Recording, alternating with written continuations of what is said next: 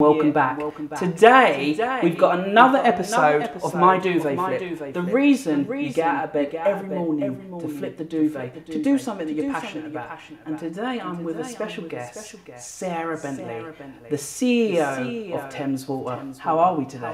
Hi Jack, thanks so much for having me and what a brilliant way to kick off the new year. Really excited to be here. Thank you. So we always start with the first question.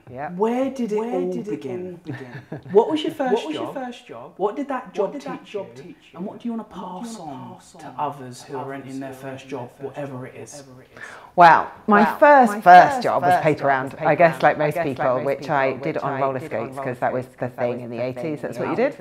Um, but um, actually, I my first sort of proper long-term job was in the newsagents, which um, I got used to pick up the papers from. And I sort of moved on, and I thought, right, at 15, I'd go and work in this shop, and it was part newsagent and part sweet shop. And there's nothing that will attract a kid into work like a sweet shop, one of those old-fashioned ones. I mean, they weren't old-fashioned then; they were just sweet shops then. um, which were like yeah, like, the, all the jars on the back, and you'd measure out your quarter pound of lemon sherbet, love lemon sherbet, um, and all the different bars and all this sort of stuff. So I managed to get a job in there doing just doing like the odd shift on a Saturday, and I just got curious about so how did it work? You know, how did it, how did a shop work?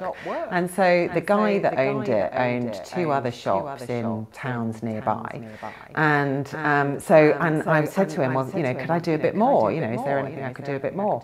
Anyway, to cut a long story short, I ended up running the shop um, uh, um uh, uh, so on the weekends because obviously I was still at school during the week. So I'd run it on the weekends. I'd schedule all the staff. I'd do all the stock taking. I'd order all the stock in, and I was just fascinated. You know, what are all the sort of violet creams that people like at Christmas, and you know, how do you make sure you've got the right sort of seasonal sweets? Make sure you've got healthy sweets if there is such a thing uh, at this time of year for everyone's New Year's resolutions. And it was just brilliant. And although some of the other people who worked in the staff were much older than me, they were mums of people I was at school with, I just was really curious as to how to make it really lovely experience for customers, but also really efficient as a shop. And I remember him writing a job reference for me um, when I was, you know, moving on after I'd sort of left school. Uh, and he said, you know, this person really knows how to sort of set things up, motivate people, and run things. And I just, I looked at it and it was just a bit of paper at the time, but I guess looking now looking back at my career, it was sort of quite foretelling of what it was. But I think part of it was that I just loved working around sweets. Wow. There's, there's three things you mentioned there that I want to kind of dig into a little bit more. Firstly, you said you was curious. Mm-hmm. We've had a number of superstars come and interview on the My Duvet Flip, and they've all said one of the most important things they look for in a young person joining their organisation is someone who's curious. Help us break that down in terms of what does curious mean to you and how can a young person who doesn't really have any experience of the world of work, how can they be curious? Yeah, so I think it is a super important thing. I, I need to correct you. I, am definitely not a superstar. You've had some amazing people on. I'm just me, right? And you're just me who grows up in a pretty normal household, went to a normal school, and but what my dad did, so he worked, he used to teach in higher education, so he sort of lectured a bit and he did a bit of research as well. And he was one of these that like people who just like wanted to know how things work. You know, you'd take the Hoover apart and you'd put it back together again and just try to make things work. And I was just interested in how things worked or what made people tick. And I think that thing around it's very easy, to, judge things or people at face value and go, oh, well, that's how it works, or, or not even think about it, or just, you know, like in, in our job, you just turn on the tap and the water comes out, and or a bar of chocolate. How did that get there? But actually, it's quite interesting when you find out, well, how did that get there? How does the food get on your plate? You know, how did the clothes get made? And when you look at that, then you sort of see all these things and you go, is that right? You know, is it right that it works that way? You know, you think about any of the supply chain, some of the things that we're thinking about around climate change and is it right to ship clothes or food across the planet or the type of workforce that are employed and the terms and conditions they're on. And you just sort of just peel layers off an onion and you just scratch a bit. So it's just, I think it's just about stopping and thinking about what's in front of you and going, is there more to it than that? Is there more to the glass of water? Is there more to this person than what I could just take at face value? So asking how? Yeah. Asking how, how did that get there? How does that made? Yeah, and what, what makes people tick? You know, that bit, you know, what's that sort of, if you just double click in, what's behind what they said? And what, what do you mean by what makes people tick for those who may be sitting at the end of their bed watching today? Yeah. And what do you, what, TikTok? What make people tick? What does that mean? Well, my kids definitely TikTok. but it's just, there are things you love and things that you don't love in life. And, you know, all, all of my kids are really different and they've all grown up in the same household, they've been in the same environment, but some of them are arty, some of them like math, some of them are sort of, you know, make, like making things, some of them just like being with other people and you, you sort of gravitate towards the things that you like and they're like what games do you like playing? You know whether that's online games or physical games or you know what sport do you like doing? What subjects do you like at school? And just sort of figuring out where are the things that I, I like spending more time doing? Now sometimes it's really difficult when you're a young person because you sit there and go either you kind of sit there go, well, I like doing everything. Or you sit there go, well, I don't really know. One of my lovely sons, you know, you ask him questions like, I don't know. I don't know. It's, actually, it's IDK, you know, yeah. on, the, on the old text. And you sit there and go, well, just stop, just stop and think. About, you do know, but you, but the easy answer sometimes is, well, I don't know. And it's like, okay, but just delve a bit deeper. Take a moment, really try to kind of think about what's going on in your head. And you know, you'll soon figure out if you like it or not, or just look at how you spend your time. You know, you'll spend your time doing things you like. So I, mm, I, I think it's sort of just a question of just stopping and reflecting and not just kind of shrugging your way through life. Absolutely. So that's what makes you tick. It's find out what makes you tick by seeing what you're interested in, and that could be anything. If you're interested in computer games, then you mm. might want to go and work for a, someone who build games or sell games. Or, yeah, yeah, go and write some games. Yeah. You know, Absolutely. why not do that? You know, one of my kids loves looking at stuff on online, right? She absolutely loves, you know, searching stuff online. And, and I keep saying, what are you doing? She's like, just searching stuff online. And I'm like, what? She said, no, I'm just curious. Like, I'm just looking what's online. I'm like, well, why don't you write a website? Or why don't you write a search algorithm? And she's like, well, how can I do that? I'm like, well, go and figure out how you program.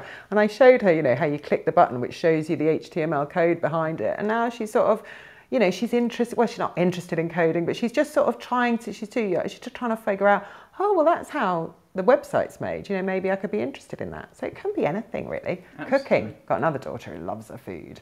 And she just, you know, brilliant. Well, learn how to cook. Wow. Wow.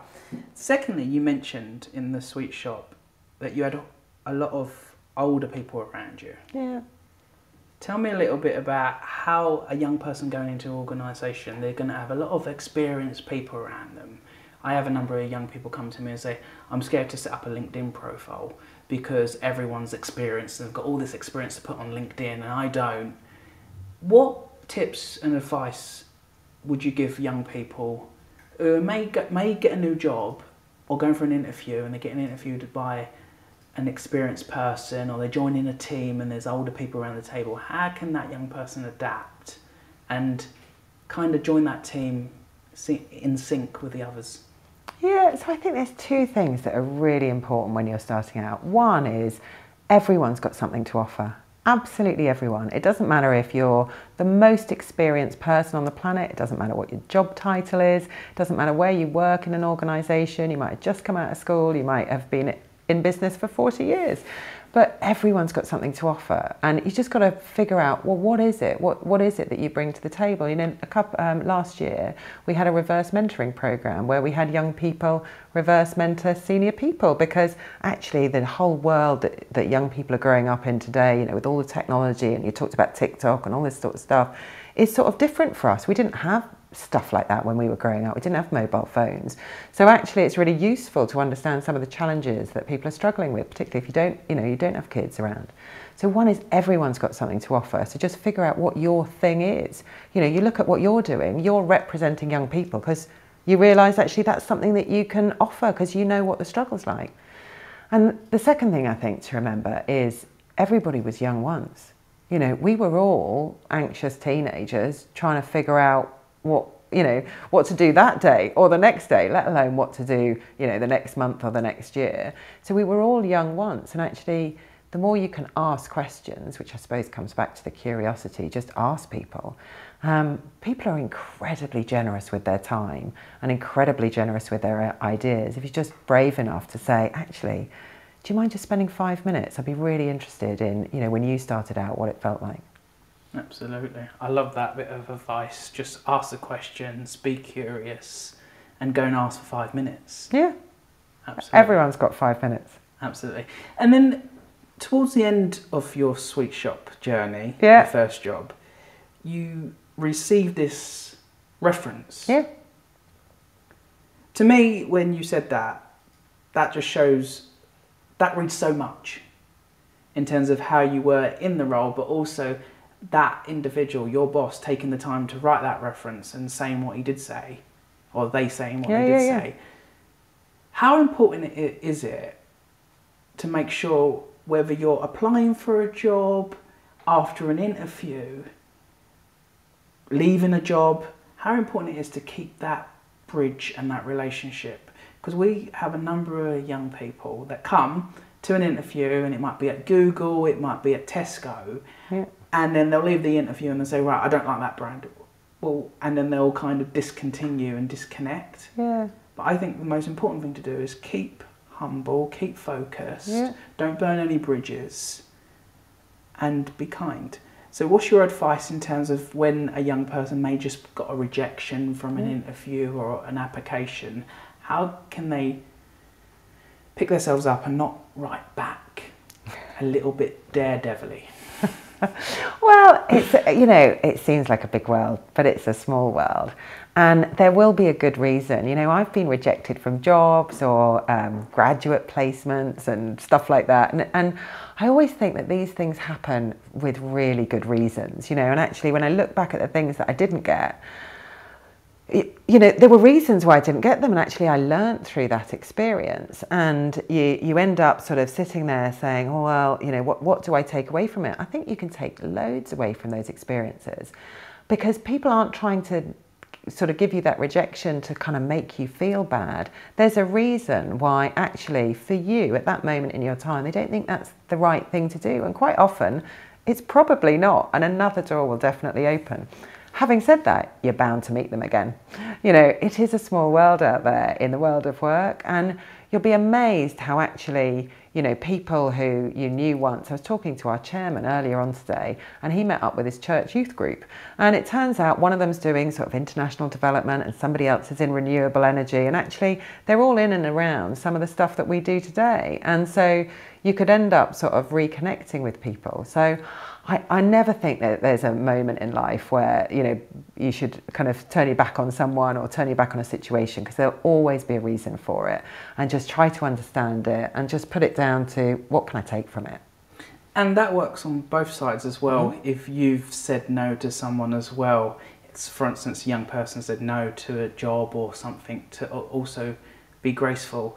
I remember when I first started out going in to meet a CEO and they were being quite ruthless and not disrespectful because I'm not educated and from a degree background.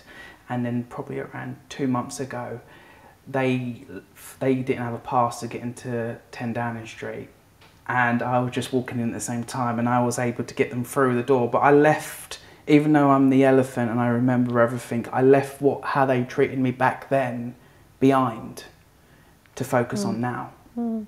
And so it works both ways as well in terms of, I love that bit of advice. Yeah, well, I'm sorry you were treated that way, right? I mean, we've uh, yeah, we've all probably had experiences with people where you just say, actually, that's inappropriate in the workplace, and it doesn't matter what background you're from, where you're from. You know, everybody is an individual and need to be treated with respect. So I'm really, actually, really sorry that that happened. Um, and we, we're working really hard at Thames to make sure that whether it's through the various different programs and schemes, you know, care confident, disability aware, you know, these different things, that we're really, really inclusive and, and businesses should be that. But it is right that if something's happened, it just, you know, it, it needs to be addressed but actually be the better person. You know, find the better angel of your nature and, you know, be that better person because actually I don't know what grudges really help in life. Absolutely, absolutely. So after the fantastic experience at the shop, the sweet shop, where did you go next? What happened next?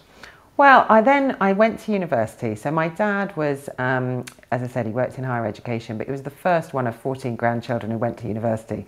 So I'd sort of set it as a mission that I would go to university.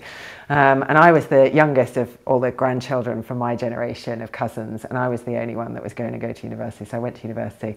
Um, but I ended up doing a bit of a hybrid course between what I wanted to do and what my parents wanted me to do. And after a year and a half, I just like, I don't want to do this anymore. Um, so I dropped out because I thought actually, because um, I can, I can actually just work doing this because it was partly, um, you know, sort of a vocational course. And I was like, I may as well just do it rather than learn about doing it. I was desperate to get hands on, so I dropped out. Um, which, you know, was it the best idea? Anyway, it definitely was, uh, it, was a learning experience. Um, and so I worked really hard to pay off my debts um, and then decided that I wanted to travel, you know, and go out and see the world. Um, so I paid off my debts and saved enough money to get a student uh, a student travel visa to Australia. So you had to prove you had a certain amount of money in your bank account. So I worked really, really hard, paid off my student debt, got the money, and then got on a plane. And largely because I wanted to see a koala bear. I had a koala bear, a toy as a kid, and I just wanted to see one. Um, it turns out they're quite strange creatures in the flesh. But anyway, um, so I went down to Australia and I ended up working there for about a year and a half, you know, as long as the visa uh, let me work for.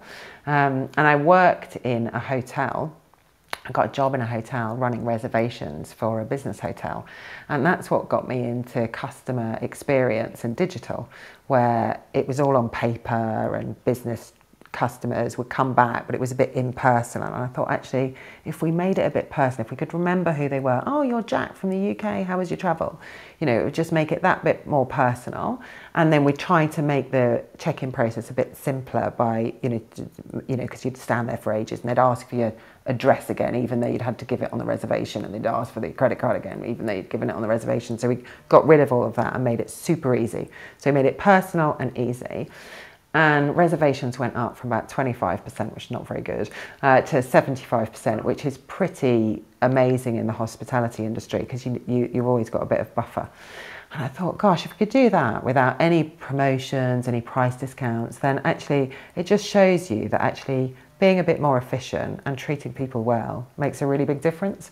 And that sort of changed my view on life. And I'm like, right, I'm going back to university and I'm going to learn about this business stuff. So there's a few things there. So you went to Australia due to a toy that you had. Not necessarily the best motivation, but yes, that is absolutely right. I so, still have the toy. So, so, so sometimes it's not always good to meet your role models or your, your the inspiration. I, growing up as a kid, I was really inspired by Lord Sugar. Then I met him, and I felt the same thing uh, as you did. so it's a bit strange. Uh, so sometimes explore, go and sit, go and see things, but also don't be disappointed at the end if it doesn't yeah, work yeah. out to be the perfect picture. Yeah, I still love lots of things about Australia, and I know koala bears aren't bad. They're not quite as cute and cuddly as I thought they were. Um, but no, Australia was great, and I met my best friend there. She's coming over this year. I'm super excited. Um, so it was it was really lovely, really laid back, totally different kind of sense of work life balance as well, uh, which was really really fab. And then you talked about dropping out and doing this hybrid course between what you wanted to do and what your parents were doing. A lot of young people will be in two minds at home. My parents wants to do this, they're doctors or they're lawyers or whatever it is, or they don't work. Do I follow their path? How can a young person make a decision to what they study, what they do next when it is picking those subjects at uni? Well, so again, I think it's two things. One is you've got to do what you love. I, and I say this to everyone I meet and my kids, um, you've got to do with what you love. Because if you're doing something because somebody else wants you to do it, you just won't do it very well. And you see people around the place who are doing the things that they really love. Back to your duvet flip, and they get up in the morning and they do it. And you know, we all have bad days, even on the things that we love. But but you keep going because it's something that you really want to do. And you know, I, I think any parent actually just wants their kids to be happy and fulfilled.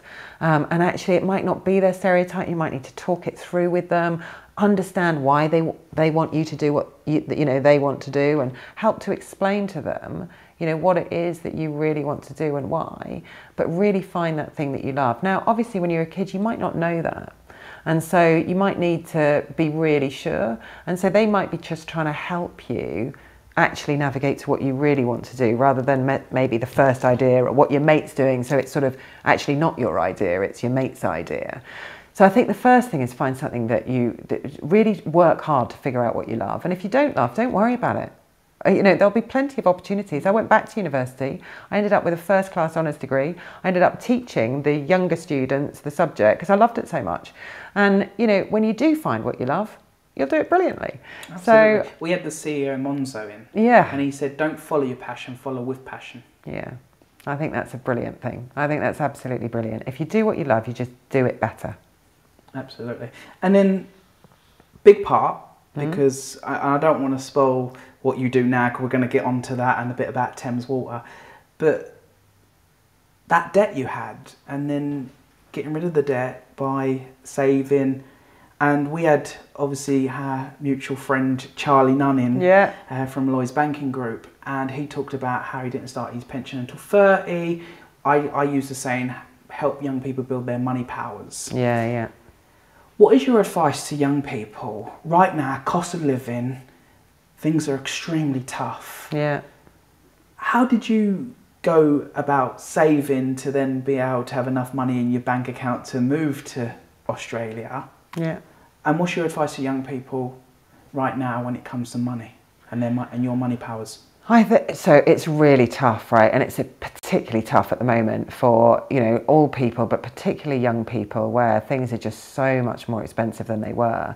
And I remember this well, right? In the 80s, when I you know I was growing up, inflation was going through the roof, and you'd have mortgage rates in the teens. You know, this uh, kind of buying a house was it was just it just wasn't a thing that you'd even think about doing because it was so expensive to get a mortgage at 14, 15, 16% interest rate. Um, Do you but, mind just breaking down what a mortgage uh, uh, rate, interest rate is, yeah, what yeah. mortgages? Yeah, no, absolutely. So if you're buying a house, you've got to do two things. You've got to put a bit of money down as the deposit. So say your house costs hundred thousand pounds, after keeping the numbers nice and round numbers, and you put down ten thousand pounds as your deposit, then you're borrowing the other ninety thousand pounds on the house. But you don't just borrow it for free. So for every year that you borrow the money, you've got to pay interest on that mortgage. And so if you're paying just 1% interest on the mortgage, it's a small amount of money. But if you're paying 15%, you can work it out on 90, I should have done it the other way around on 110. It's sort of coming up to £15,000, you know, by the time that you um, spend the money on the, uh, which is just the interest. So that doesn't pay down your mortgage. All that does is that pays down um, you know, the interest because you borrowed the money, because you've got to pay somebody because they've lent you the money. So, you know, if you want to buy a house, you've got to save up all the money for the deposit, but then got to make sure that you can earn enough money, not just to pay the money you borrow back, but also the interest on borrowing that money on top of it. And that's what your mortgage is. And so you've got banks out there that, that lend you the money to do that. Um, I just realised I got all the numbers wrong in the maths there, so we'll have to go and correct our That's beautiful okay. maths. No worries. Um, but um, which, given I did maths as a degree, is a little bit embarrassing, isn't it? Well, but then take that back. Then that is a worry. It is a worry. Um, but I think that that you know the bit the bit uh, although it's tough i would really say just put some money away if you can just put a little bit of money away and it's always tempting that that you know everything that you get in and you know particularly at the moment.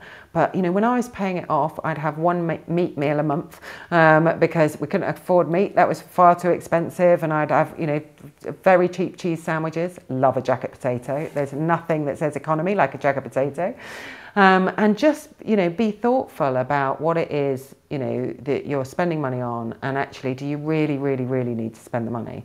Because any money that you put aside, a bit like Charlie said with, you know, saving for a pension, just like interest, you have to pay people money every year to borrow it.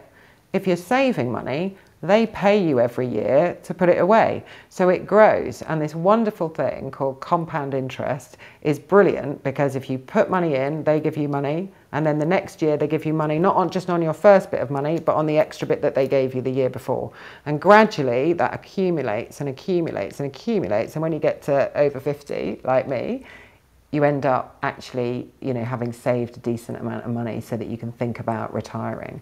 Um, so I would encourage all young people, however young you are, just start saving. And it might only be, you know, a, you know, a pound, um, but put it away and get used to that discipline of not just having everything that goes in go straight out again. And you also save through a more, uh, through a pension as well. Yeah by opting into yeah whether it's savings or isas or pensions or there's lots of different ways to save but as long as you're just not spending it's a bit, a bit like uh, you know with all of these things if you're spending as much as you earn you're never going to save anything. this is I'm telling myself this about weight loss. If I eat, eat as much as I expend, I'm never going to lose weight. Um, you've got to have a little bit of an imbalance there. Absolutely, absolutely. And that's all we've got time for for the first half, and we'll be back in under five minutes with the second half. See you in a minute.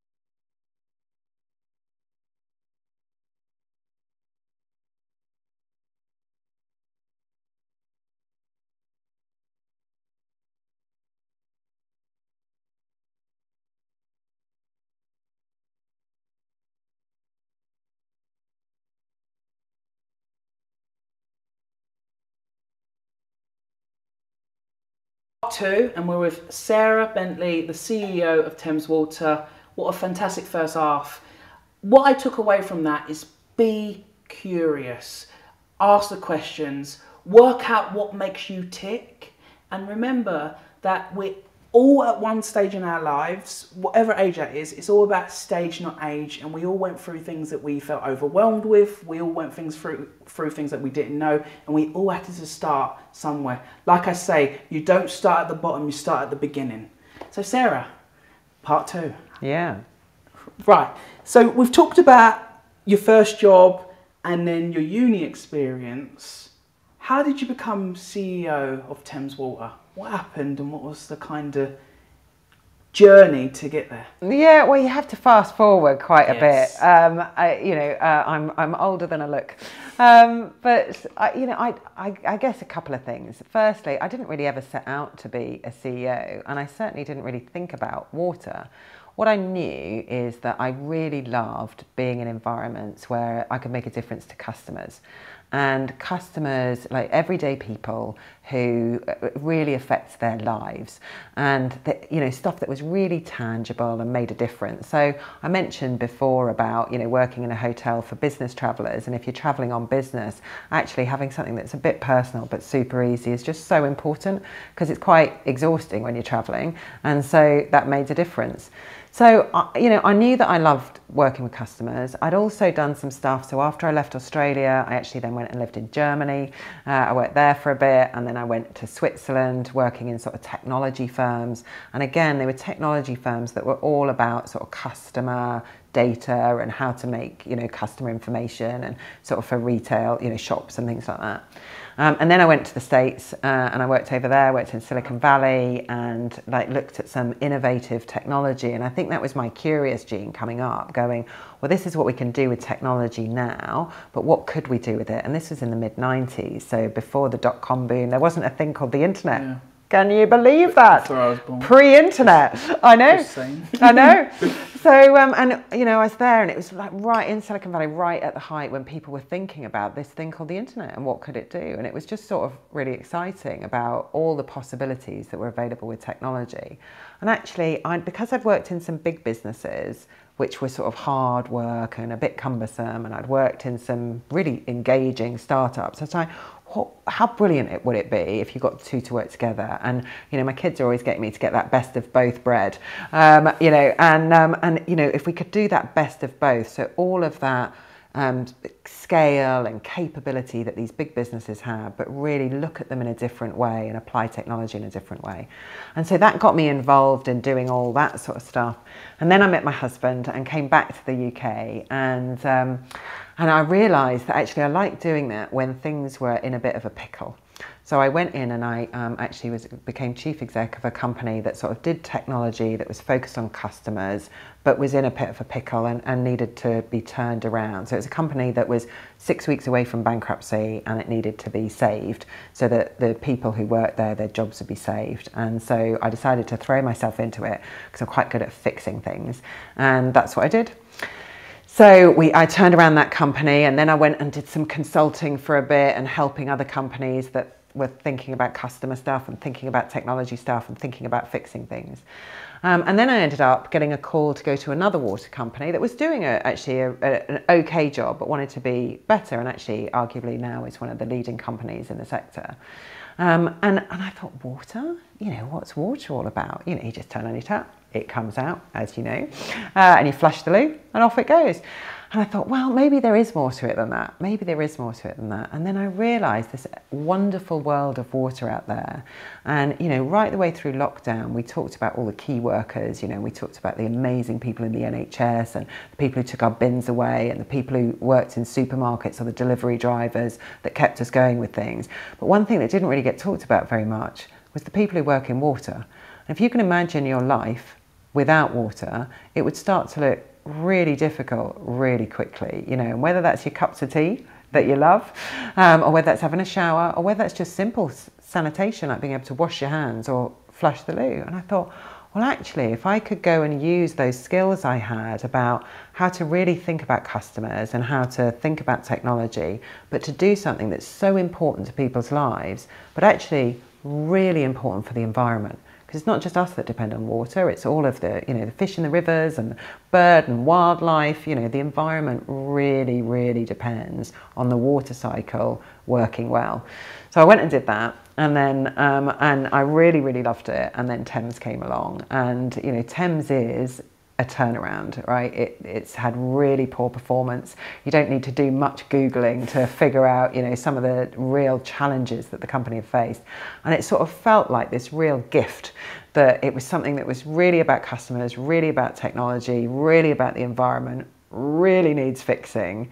And then I found out my great granddad was a well borer for the Metropolitan Water Board here in London. So he dug some of the wells that we're now drinking water out of. So I'm like, okay, maybe it's meant to be. So this rather circuitous shop from 11 bonbons all the way sort of around the world sort of leads you to a place which actually feels absolutely where I'm supposed to be in my life right now. And I love it. So tell me a little bit about Thames Water because when you arrived here, you told me off, didn't you? I did tell you, you off. Why did I tell you off, Jack? You told me off because I drink bottled water. And, and why is that bad? It's bad because actually tap water is a penny. It is less than a penny. Less than a penny, where a bottled water is more than a pound.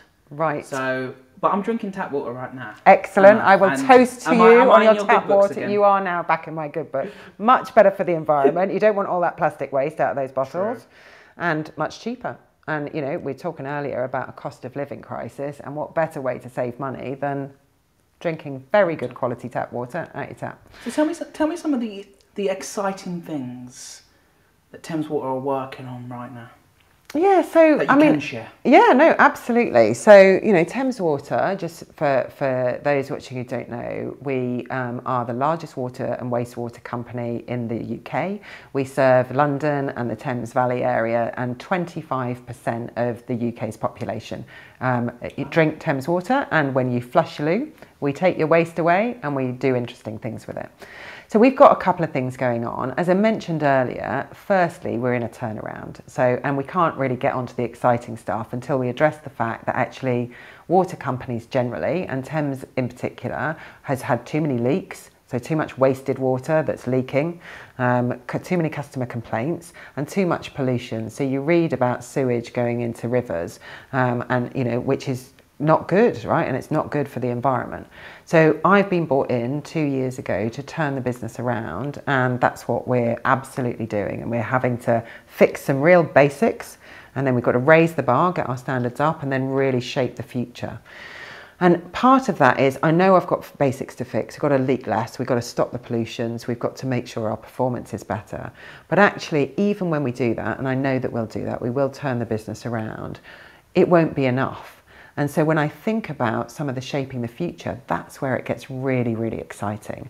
Because actually we take this for granted. Absolutely. And, you know, in the next sort of 20, 30 years, we're going to be run out of water. We saw it over the summer, didn't we, with the drought, where actually the, the, climate's really changing. We're using water in a really different way. You think about how frequently people shower now to, you know, how they used to take the, you know, a bath and not every a bath every day, you know. Yeah, exactly. Uh, but not every day, right? You know, and so now we might shower once or twice a day. You know, we you, you know, you think about things like hot yoga. There was no such thing as hot yoga before, and you know, so we've got a very different relationship with water and how we're using it. And there is only so much water. You know, there's only so much water on the planet, and there's only so much clean water that can be treated so that you can drink it. So we've got to really think about how we use water. Um, and it's stuff like, is it right that we use clean drinking water to water our lawns or to mm. wash our cars. You know, try to imagine explaining that to someone in sub-Saharan Africa that's got to walk hours and hours and hours to, you know, get pretty grotty quality water for them to use for all of their hygiene. You know, and here we are with amazing quality drinking water that we're just chucking on the lawn. So we've got, we're doing some really innovative projects to say how can we not waste as much water, so we're stopping our leaks, but also how do we make homes much less water using, so much more water efficient. And so we use less water, whether that's less water when you flush the loo or whatever. And then on the other side, what we're doing with poo is super, super exciting. Most people don't like to talk about poo, and I'm quite sure that many people watching this are thinking they're going, ooh, sewage, but it is amazing. and what some people think of waste, we do incredible things with. So one of the things that people don't know is we're the largest renewable energy provider in the southeast of England. So we take that poo and we turn it into renewable energy. I mean, how brilliant is that? So there's a whole scope to do even more. And actually, we could create a huge amount of district heating from the heat from sewage. So this is a pilot that we're doing at the moment to say actually, because obviously sewage comes to us at body temperature without putting you off your water. Um, but by the time it comes to us to, to, be treated, it's about 12 or 16 degrees. But by the, the water that well, once it's treated, that it's got to go back into is about six degrees. So we've got quite a lot of heat.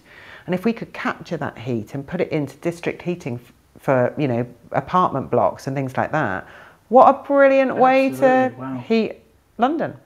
So we're doing some real innovation to try to push the boundaries on how we can really change the dial, whether it's net zero and renewable energy or thinking about the environment and helping protect water for future generations. And within that, we've got really frontline jobs right the way up to scientists and engineers and these whole career opportunities in between. Wow. Isn't that an excite? Who knew? Who knew? You'll be thinking about your tap differently when you turn it will, on. And you'll never flush get... the loo in the same way again. Absolutely. There are people in North London who are heating their baked beans by renewable energy from sewage. Wow. And break down some of those roles.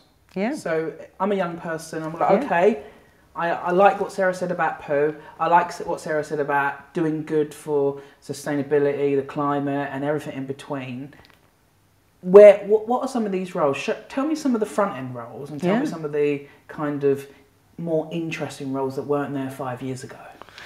Well, there are all sorts of there are all sorts of interesting roles. So we've got um, a bunch of roles where you know we've got people out. I was out at the depot this morning with some of the teams who are out moving um, weir boards around in London. So underneath all of the streets in London, you've got all this pipe network. We've got 109,000 kilometres, uh, which go around the world several times, of sewer network. And at any one time, you know, the sewage is going down that. Sometimes rain gets into it as well. Sometimes you get misconnection, but all this stuff out of your washing machine. And we've got to figure out where all those flows are going and make sure that they go to our treatment works and don't discharge into the river. So they're constantly monitoring these things. Now, one of the other things that young people absolutely could and should do is stop using wet wipes. They are horrible, horrible, horrible things. They're really bad for the sewer system because they get them all blocked up, mm. but they're really bad for the environment because they end up going to landfill. And every day we take 30 tonnes of wet wipes out of our sewers in East London. Wow. And so we have teams of people where these wet wipes go through and they get stuck on like, you know, you shouldn't also tip your fat down or your custard down the sink because that gets congealed. You should put it in a pot and put it in the bin or preferably compost it if you've got a garden. Um, so, you know, if, if uh, the, that fat gets congealed with the wet wipes causes a blockage. So we've got people who are unblocking that.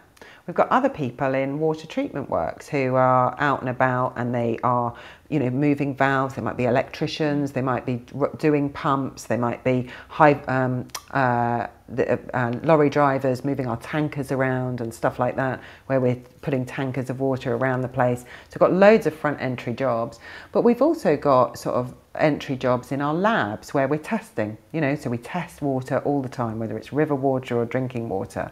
And they're doing sort of a bit like your chemistry lesson at school. So we've got labs and we've got sort of frontline jobs in labs. And then we've got all the people, obviously, who talk to customers who are out and about, whether they're digging holes and mending pipes in streets or whether they're speaking to vulnerable customers about their needs if we had an operational incident. So they might be going and speaking to some people on the vulnerable customers register that we've got, or they might just be dealing with their bill in the contact centre or doing answering their, you talked about social media, they might be answering tweets or Facebook posts or things like that. So we've got a whole range of jobs. In fact, we've even got a shepherdess Ooh. who looks after our flock of sheep, who wow. munches all the grass on our reservoirs. so we have sheep. We have sheep. Yeah, wow. We have a big flock of sheep. Did that make you surprised when you joined? And you, it did, it did, and I love the sheep. Lambing season is very lovely at Thames Water.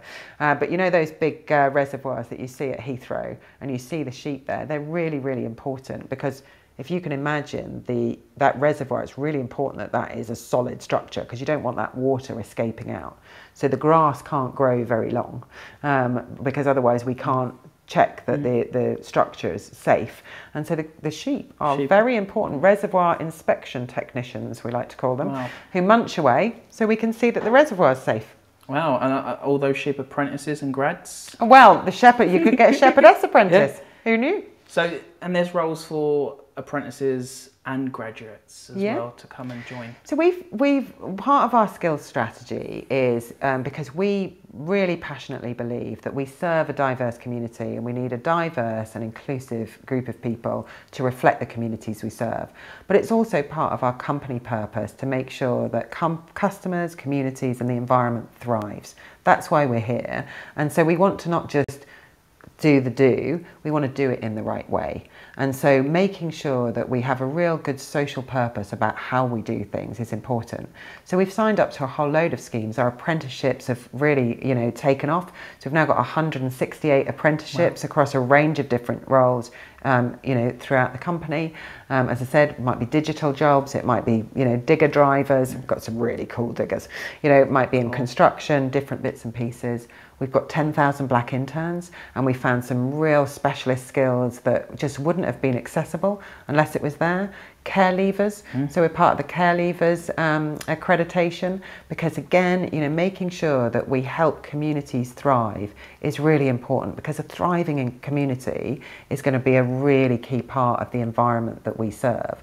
Um, and so making sure that it's accessible for a whole range of different people is something that we're really passionate about. Wow. So, and to, to go and find out about those careers, go over to the Thames Water website, which we'll link in the below. Yeah, brilliant. So We've, there's loads of such a way from, as I said, an archaeologist, shepherdess, digger driver. You know, we're doing all of these incredible things, and we've got cyber experts and all sorts. Wow. So it's a real range to get water to your tap. We've got two minutes left. Right. Yes, yeah, so I've got two more questions. So my first question of the two is What's one life lesson that you'd love that you, you wish that you knew earlier that you'd love to share with young people?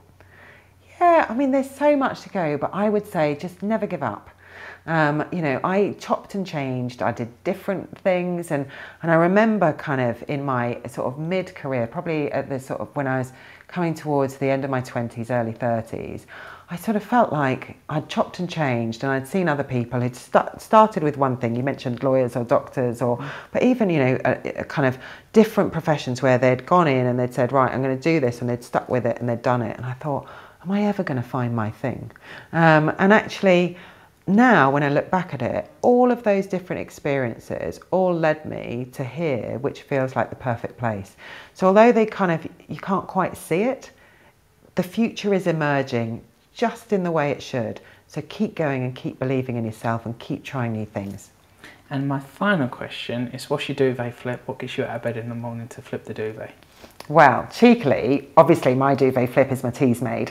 Um, I talked to, to you earlier about my mm. lovely Teasmade. I can't get out of bed without a good cup of tea.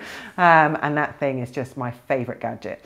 Uh, but if it's not my Teasmade, it's about really making a difference to communities and to the environment. Because I think what we can do here is not just do the job that we have to do, but do it in a way that actually helps make people's lives better for today, but for future generations. And I just hope that someday a great great grandchild of mine will look back at the time I spent at Thames and be as proud as I am of my great great grandfather who dug a few wells. Wow. And on that note, I just want to say thank you so much for investing your time, your energy, and your wisdom in coming on today. Jack, an absolute pleasure and honestly a real treat and an honour to be here. Thank you. And that's all we have time for today. Whether you're tuning in from LinkedIn, Twitter, uh, youth space, wherever you're tuning in from. We've had such a fantastic conversation. We've learned a little bit about drinking tap water and not to put wet wipes down the toilet. Remember that, really important. And even your custard, put it into a can, put it into the not into a can, into a jar, put it into a bin. Really important. And but also, really focus on what makes you tick. What makes you get out of bed in the morning? What are you passionate about?